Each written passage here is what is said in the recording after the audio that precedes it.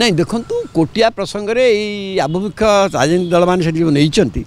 ସେଇଟା ଯଥାର୍ଥ ହେଲେ ମଧ୍ୟ ୟାର ଗୋଟେ ଅନ୍ୟ ଦିଗ ମଧ୍ୟ ରହିଛି ସେଇଟା ମଧ୍ୟ ଦେଖିବା କଥା। ରାଜ୍ୟ ନିର୍ବାଚନ କମିଶନ ଏକଥା ବଲାଙ୍ଗୀର ଘଟଣା ଆପଣ ଜାଣିଛନ୍ତି ଯେଉଁଠି ସରପଞ୍ଚ ପୋଷ୍ଟ ଅକ୍ସନ୍ ହେଇଥିଲା ବୋଲି କୁହାଗଲା ସେଠି ରାଜ୍ୟ ନିର୍ବାଚନ ଆୟୋଗ ନେଲେ ନା କୌଣସି ଲୋକକୁ ତୁମେ ପ୍ରାର୍ଥୀ ହେବାରୁ ତୁମେ ବଞ୍ଚିତ କରିପାରିବନି। ସେ ଜିଲ୍ଲାପାଳଙ୍କୁ ନିର୍ଦ୍ଦେଶ ଦେଇଛନ୍ତି ଯିଏ ଚାହିଁବ ସେଠି ପ୍ରତିଦ୍ୱନ୍ଦିତା କରିବ ତାକୁ ସମସ୍ତ ସୁଯୋଗ ସୁବିଧା প্রদান করা হব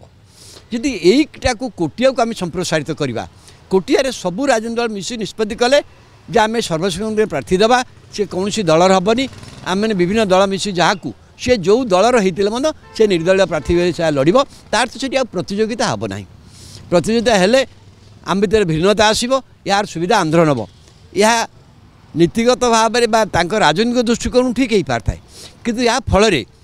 ଗୋଟାଏ ଅଞ୍ଚଳରେ ପୁରାପୁରି ଭାବରେ ଯାହା ନିର୍ବାଚନ ରାଜ୍ୟ ନିର୍ବାଚନ କମିଶନ କହିଛନ୍ତି ସେ ଅନୁସାରେ ଗୋଟିଏ ଅଞ୍ଚଳରେ ଲୋକମାନଙ୍କୁ ନିର୍ବାଚନରେ ଅଂଶଗ୍ରହଣ କରିବାର ସୁଯୋଗରୁ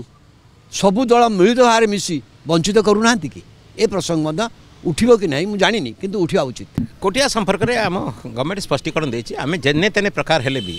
କୋଟିଆ ଓଡ଼ିଶାର ଏକ ଅଂଶବିଶେଷ ସେଥିରେ କୌଣସି କମ୍ପ୍ରମାଇଜ୍ ହେବାର ନାହିଁ କାହା କୋହଳ ମନୋଭାବ ନ ହେବେ ପଞ୍ଚାୟତ ଇଲେକ୍ସନ୍ ହେବ ହିଁ ହେବ ତେଣୁକରି ସର୍ବଦଳୀୟ ସମ୍ମତିକୁ ବିଚାର କରି ସେ ପରେ ରାଜ୍ୟ ସରକାର ଯାହା ହେଲେ ପଦକ୍ଷେପ ନେବେ କିନ୍ତୁ କୋଟିଆ ନିର୍ବାଚନ ହେବାଟା ନିଶ୍ଚିତ